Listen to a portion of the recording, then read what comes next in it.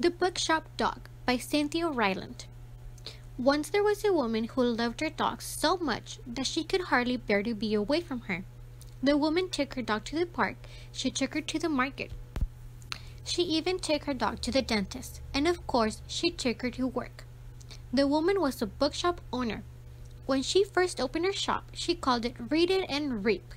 It was known by this name for many years. Then she got her dog, whom she named Martha Jane and she loved the dog so much that she changed the name of the shop to honor her dog. It was called Martha Jane's Bookshop. And of course, Martha Jane was there every day. Naturally, some people got things a little confused because they did not know that Martha Jane was a dog. When a new salesman came by peddling books, he would say, I am selling books. May I speak with Martha Jane? The bookshop owner would laugh with delight and say, Of course you may and the salesman would find himself shaking hands with the dog. Sometimes people would call Martha Jane's bookshop on the phone wanting advice about a book. They would say, May I speak with Martha Jane concerning a mystery book I'm looking for? The woman who owned the shop would look over at Martha Jane, who was chewing on a rubber telephone that very moment, and she would say, I'm sorry, Martha Jane can't take your call right now. She's on the other line. May I help you? The caller would find his mystery book, though he really wished he would have spoken directly to Martha Jane.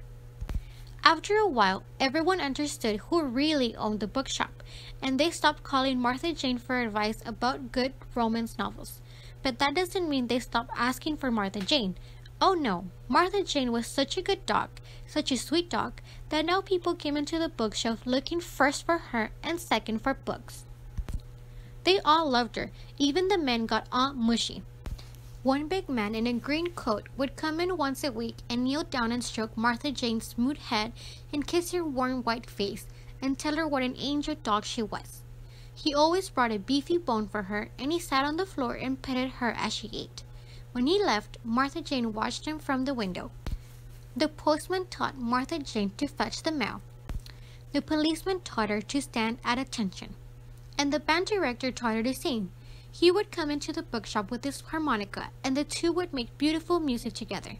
The whole town loved Martha Jane, and the bookshop business was very good.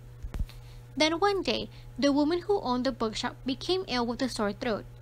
She would have to go to the hospital to have her tonsils removed, and even though she insisted on taking Martha Jane everywhere she went, the hospital said no. No dogs allowed in the hospital, no matter how sweet and good they are. The poor woman would have to go to the hospital all by herself, and she would have to find someone else to take care of Martha Jane. She didn't know who to ask. But as soon as the policeman heard that Martha Jane needed a sitter, he came by the shop with his lights flashing and his siren on. And as soon as the postman heard it, he came wheeling around the corner in his jeep. When the band director found out, he marched the entire high school band, which had been practicing on the football field, to the front door of Martha Jane's bookshop. And several children dragged their parents to the shop with dog toys and bags of kibble. Everyone wanted Martha Jane for a week. Things got a little nasty. The policeman told the postman to take his junk mail and stuff it down his pants. The postman told the band director to go blow his horn.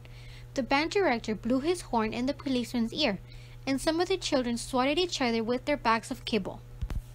Just as it looked as if everyone might have to go to the hospital and no one would be able to take care of Martha Jane, a big man in a green coat walked through the crowd. He had a beefy bone in his hand. He knelt down beside Martha Jane and stroked her smooth head and kissed her warm white face and told her what an angel dog she was. At the sound of his voice, everyone grew quiet, and only Martha Jane's crunching could be heard. Martha Jane had made her choice. The bookshop woman's hospital stay went very well. She got 20 boxes of candy from devoted customers and she read 10 new spy thrillers, but she missed her dog. When finally the woman was well and returned to her shop, Martha Jane was sitting at the window wearing a big yellow bow and smelling like a flower garden. She had waited for the woman all week long, and when Martha Jane saw the woman coming, she leaped to the floor and ran to the door and covered the woman's face with dog kisses. The woman found out that the big man in the green coat had painted her mailbox, dusted her shelves, washed her windows, and swept her floor. But most important, he had loved her dog. Things worked out quite happily after that. The postman eventually forgave the policeman, who forgave the band director. The children all made up. The woman and the big man in the green coat liked each other so much that they got married. Martha Jane went on the honeymoon, of course. She loved Hawaii. The end.